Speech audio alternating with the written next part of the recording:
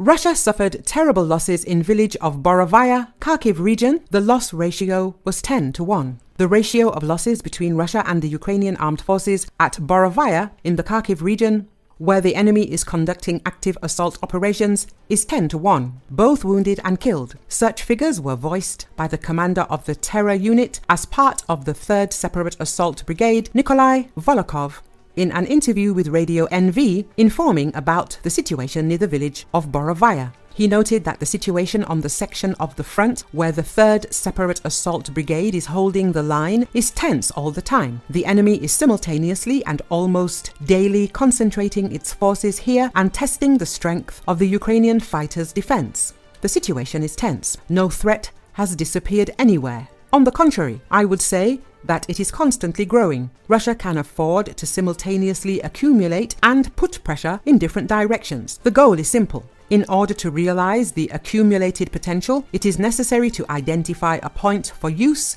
therefore, they constantly check. Unfortunately, they have enough resources for this, and this resource of constant pressure on the front looks like platoons and companies. A very large number of Russians go forward and die, Volokhov said. According to him, the reserves accumulated by Russians are in a certain way highly mobile. They are such that they can be quickly used in any area, but how it will be depends on what we will be like. If weakness is given, the reserve will be abandoned. If not, then it will not be. Currently, everything looks like this that they cannot find a weak point in the defense of the third bridge, although they are trying very hard and suffering incredible losses along the way, the military man noted. Speaking about Russia's losses, Volokhov emphasized that this should be assessed from the point of view of ratio. There is an absolute number and an absolute percentage of our losses and a percentage of their possibility. Therefore, we reach a ratio that exceeds 10 to 1, so that for one of our wounded, there are 10 of their wounded, more than 10. Sometimes it reaches 20 to 30. Relatively dead, the same, said the unit commander. Fire has occurred in a warehouse of rubber shoes in Lyubim city in Yaroslavsky district of Russia's Yaroslavl region, Russian TASS news agency reported on Thursday, with reference to the press service of the Ministry of Emergency Situations. Later, the press service reported that the fire was contained to an area of 5,000 square meters. The roof of the warehouse has partially collapsed due to the fire. No casualties have been reported so far. Some 40 firefighters and 12 pieces of equipment have been dispatched to the site of the incident to extinguish the fire. Meanwhile, Ukrainian Telegram channel reported that a construction materials market was burning in Moscow region, without giving further details.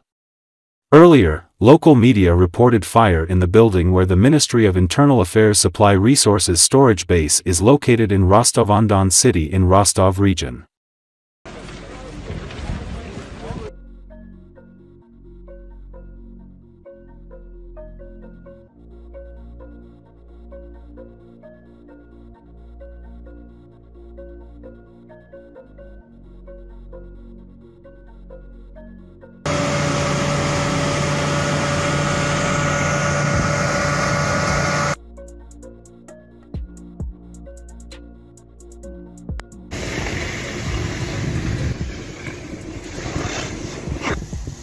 Устанавливайте 246 на...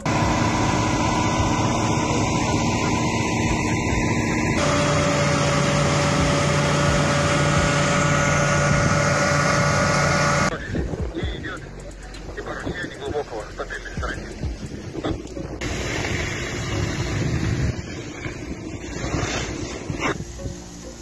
Устанавливайте 246 на...